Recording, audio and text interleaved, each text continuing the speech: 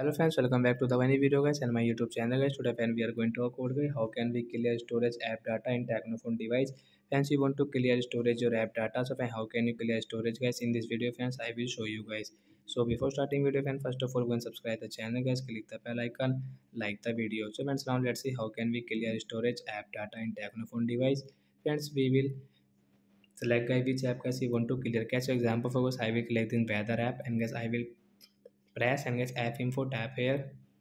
then as you can see storage and caches guys tap here clear storage guys tap here to ok option tap here to clear storage guys this app data will clear storage guys you can use this app without any problem so like that guys we can clear storage guys our app data so that's it guys thanks for watching the video guys i hope friends you have understood how to clear storage app data in techno mobile so that's it guys and friends you will doubt guys related to guys your techno phone guys any